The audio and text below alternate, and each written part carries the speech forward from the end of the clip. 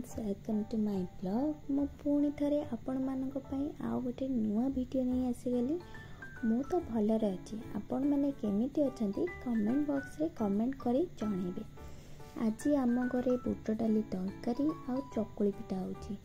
ମୁଁ କେମିତି ରୋଷେଇ କରୁଛି ଆସନ୍ତୁ ଦେଖିବା। ମୁଁ ପିଠା ଆଉ ତରକାରୀ ଏକା ସାଙ୍ଗେ ରୋଷେଇ କରିବି। ଦେଖିବେ କେମିତି?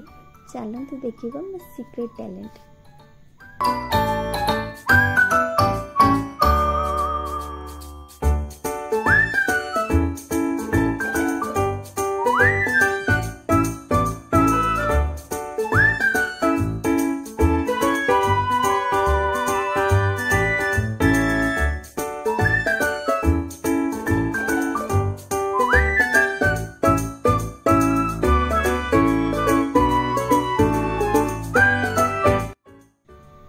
ଦେଖନ୍ତୁ ଫ୍ରେଣ୍ଡସ୍ ପିଠା ତରକାରୀ ତ ରେଡ଼ି ହେଇଯିବ।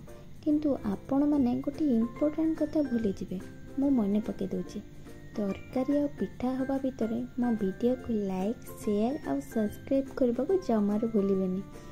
ଆଉ ଯେଉଁମାନେ ମୋ ଭିଡ଼ିଓରେ ମାନେ ମୋ ଚ୍ୟାନେଲରେ ନୂଆ ଅଛନ୍ତି ପ୍ଲିଜ୍ ସବସ୍କ୍ରାଇବ୍ କଲା ପରେ ବେଲ୍ ଆଇକନ୍କୁ ପ୍ରେସ୍ କରିବାକୁ ଜମାରୁ ଭୁଲିବେନି। ଯାହାଦ୍ୱାରା କି ମୋର ନୂଆ ନୂଆ ଭିଡ଼ିଓ ଆପଣମାନଙ୍କ ପାଖରେ ଫାଷ୍ଟ ଅପଲୋଡ଼ ହେବ। ଆଉ ଆପଣମାନେ ମୋ ଭିଡ଼ିଓ ଦେଖି ଏନ୍ଜୟ ବି କରିବେ। ଚାଲନ୍ତୁ ଚକୁଳି ପିଠା କାହାକୁ କାହାକୁ ପସନ୍ଦ କମେଣ୍ଟ ବକ୍ସରେ କମେଣ୍ଟ କରିବେ।